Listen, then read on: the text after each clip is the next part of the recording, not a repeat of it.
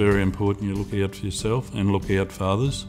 Uh, I've seen a lot of incidents prevented by someone else raising the alarm, so it's important you look out for others as well as yourself.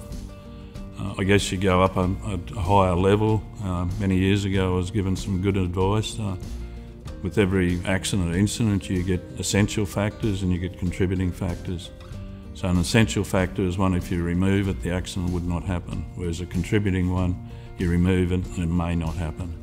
So, with all these things, we've got to look at essential factors or, in today's terms, critical controls. And it's about understanding what they are and ensuring they're in place.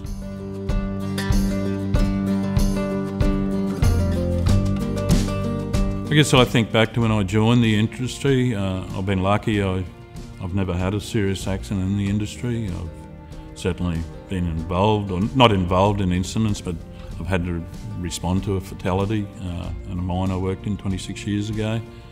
Uh, since I've been at the inspectorate, I've responded to I think five fatal accidents. So, whilst I've never been involved in it, I've um, seen a lot The best advice I can give is uh, someone starting in an industry, uh, look out for yourself, become aware of what the main hazards are, and know what's controlling those hazards so you can make sure the controls are in place. Uh, learn from the experienced people. Uh, fairly quickly work out, you know, who are the real experienced people. It's only natural. Some people see hazards before others, and uh, learn who those people are and who to rely on and trust.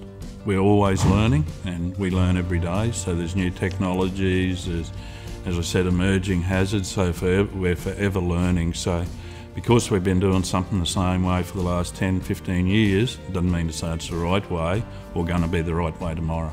So we need to be constantly on the uh, lookout uh, for new ways of doing things, uh, new technologies, uh, every day we don't learn something's a bad day, really.